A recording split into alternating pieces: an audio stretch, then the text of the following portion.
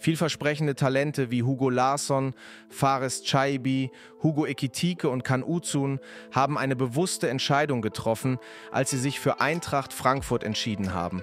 Sie wählten die Eintracht nicht nur wegen der Möglichkeit, in der Bundesliga zu spielen, sondern auch wegen der Struktur und Philosophie des Vereins, der in die Entwicklung junger Spieler investiert.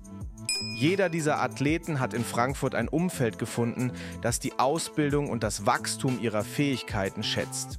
Der nächste könnte Tom Bischof von der TSG Hoffenheim sein. Eintracht Frankfurt hat ein Auge auf den Spieler geworfen.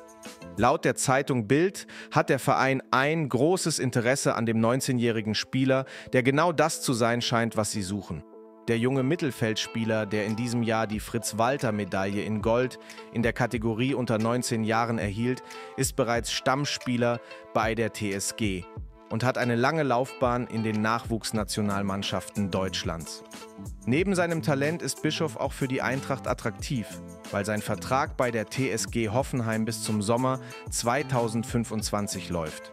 Das bedeutet, dass Eintracht Frankfurt, das an seinem Fußball interessiert ist, ihn verpflichten könnte, ohne eine Ablösesumme zu zahlen, sondern nur eine Entschädigung für seine Ausbildung. In Frankfurt könnte Bischof die Position von Hugo Larsson einnehmen, der am Ende der Saison verkauft werden könnte. Mehrere renommierte Vereine haben bereits Interesse an dem jungen Schweden gezeigt, was dem Verein einen guten Gewinn einbringen könnte. Die TSG Hoffenheim möchte den Vertrag von Bischof verlängern, steht jedoch in Konkurrenz zur Eintracht und anderen Vereinen. Laut der Zeitung Bild haben neben Frankfurt auch andere Bundesliga-Teams und der FC Bologna aus Italien ein Auge auf Bischof geworfen.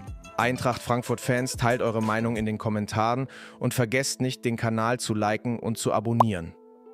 Ich melde mich jederzeit mit weiteren Neuigkeiten von unserer Eintracht Frankfurt zurück.